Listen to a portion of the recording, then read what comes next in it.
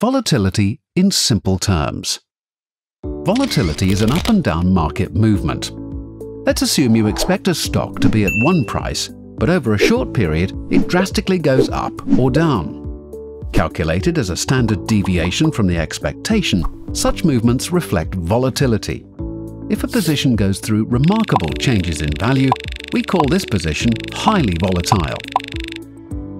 Vice versa, low volatility means the position is stable. High volatility brings uncertainty and scares people. At the same time, highly volatile positions can generate much profit if you're willing to take the risk. How to determine the stock volatility? Trace the trend. Remember that volatility equals swings. Look at the volatility index chart and analyze the severity of a stock market price fluctuation. The more violent are the ups and downs of a stock, the more volatile it is. Volatility helps you realize whether a stock fits your portfolio or not.